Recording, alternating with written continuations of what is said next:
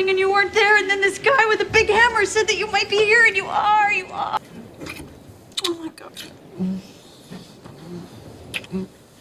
Okay, I gotta go. And I ended up living with this albino guy who was like cleaning windshields outside Port Authority. And then he killed himself. and then I found aromatherapy. So believe me, I know exactly how you feel. You're a jerk. I know.